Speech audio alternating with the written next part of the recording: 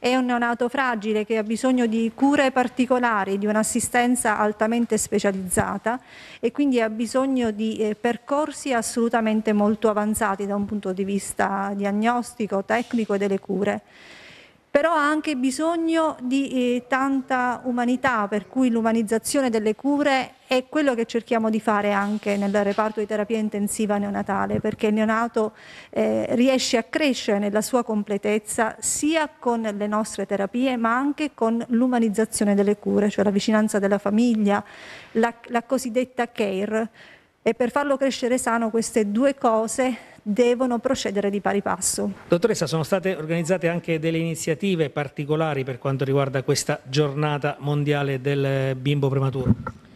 Eh, come ogni anno in tutte le città italiane del mondo verranno illuminati di viola il colore della prematurità eh, gli monumenti più importanti. A Pescara verrà illuminata la Torre Civica e il Ponte Flaiano. Eh, um, un altro evento che abbiamo organizzato è eh, donare a tutti coloro che eh, richiederanno il servizio di Green Bike un calzino viola che è stato, ehm, che è stato cucito a mano dalle nostre volontarie dell'Associazione dell'Abbraccio dei Prematuri. Nello stesso momento si potranno donare, eh, si potranno fare delle donazioni libere per un altro grande progetto che è l'acquario in neonatologia che stiamo portando avanti da un paio di mesi.